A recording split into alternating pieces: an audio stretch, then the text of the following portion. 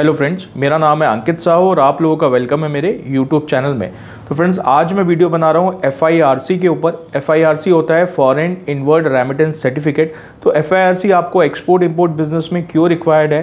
और ये कैसे आपको लेना होता है, ये सारी चीज़ें हम लोग डिस्कस करेंगे। वीडियो स्टार्ट करने से पहले आपने मेरे चैनल को अभी तक सब्सक्राइब नहीं किया है तो इसको सब्सक्राइब कर लीजिए। आपको मेरे वीडियोस अच्छे लगते हैं तो इस वीडियो को लाइक कर दीजिए और शेयर कर दीजिए। So foreign inward remittance certificate तो अगर आपका इसकी मीनिंग इसके नेम के मीनिंग में अगर आप जाते हैं तो यहाँ पे फॉरेन इनवर्ड रेमिटेंस सर्टिफिकेट तो फॉरेन से जो इनवर्ड रेमिटेंस आ रहा है मतलब फॉरेन से जो पेमेंट आ रहा है, उसका सर्टिफिकेट ये आपको क्यों रिक्वायर्ड है? देखिए, बहुत सारे हमारे पास यूट्यूब पे कमेंट्स आते हैं क्वेरीज आती है कि, सर, मैं एक्सपोर्ट करता हूँ और जो पेमेंट्स आ रही है, मैं तो आई में ले रहा हूँ वाया पेपल तो मुझे एफआईआरसी रिक्वायर्ड नहीं है। सर आप ही को एफआईआरसी रिक्वायर्ड है। ये मैंडेटरी है और एफआईआरसी यही प्रूफ करता है कि आपने फॉरेन पेमेंट जो है वो एक्सेप्ट करी है। उसका जो प्रूफ का जो सर्टिफिकेट होता है, उसी को एफआईआरसी बोलते हैं। तो यहाँ पर सबसे पहले थम रूल पर जाते हैं। थम रूल ये कहता है कि अगर एक्सपोर्ट वही ट्रांजेक्शन माना जाएगा जहाँ पर आप फॉरेन करेंसी एक्सेप्ट कर रहे हैं। फॉरेन करेंसी भी फ्री कन्वर्टेबल करेंसी होनी चाहिए। तो जितनी भी बड़ी करेंसीज हैं, वो उसमें आ जाती हैं। डॉलर्स हो गए यूरोज़ हो गए दिनार हो गया। तो ऐसी बहुत पूरी लिस्ट है उसकी।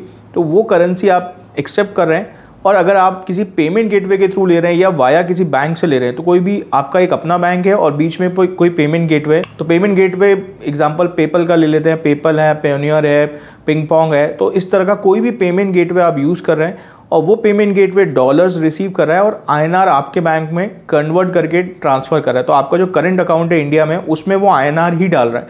तो उस केस में आपको कंपल्सरी एफ़ रिक्वायर्ड है और वो एफ़ क्यों रिक्वायर्ड है? क्योंकि ये जो ट्रांजेक्शन है, ये एक्सपोर्ट में तभी काउंट होगा जब आप उसको प्रूफ करेंगे कि यहाँ पे फॉरेन करेंसी एक्सेप्ट हुई है। तो वो प्रूफ कैसे करेंगे? जो पेपल है, उसने तो डॉलर कलेक्ट कर लिया है। अब उसने उसको कन्वर्ट किया पेपल ने और आई में आपके बैंक को ट्रांसफ़र किया। तो आपके बैंक को तो उसने नेफ्ट ट्रांसफ़र किया, जहाँ पे आई का ट्रांजेक्शन है। तो अब आपके बैंक को कैसे पता चलेगा कि ये फॉरेन करेंसी आई थी?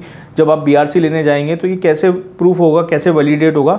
तो उसके लिए पेपल आपको एक एफआईआरसी देगा, जिसको फॉरेन इनवर्ड रेमिटेंस सर्टिफिकेट जिसकी हम बात करें वो डॉक्यूमेंट प्रूफ करेगा कि ये इंटरनेशनल पेमेंट आई थी और उसको आई में कन्वर्ट किया है। और आगे का जो प्रोसेस है, फिर आपको बैंक से बीआरसी लेना पड़ेगा। सो एफआईआरसी का यही प्रोसेस है।